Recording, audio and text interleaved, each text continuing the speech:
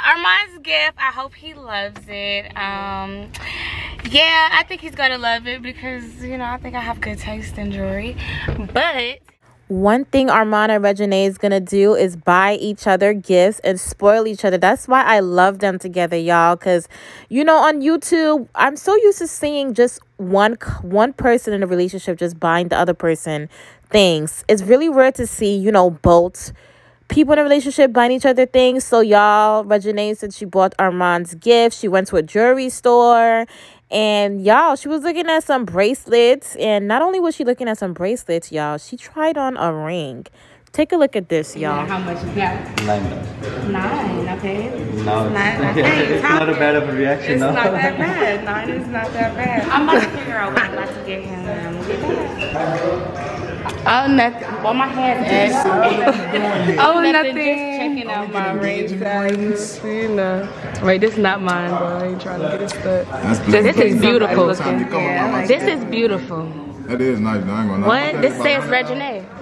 How much is this? 35 Yes.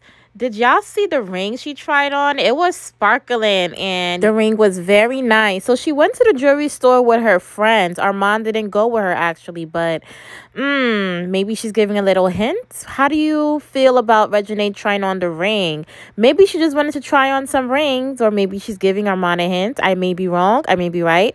In the comment section below, please let me know how y'all felt when you saw that.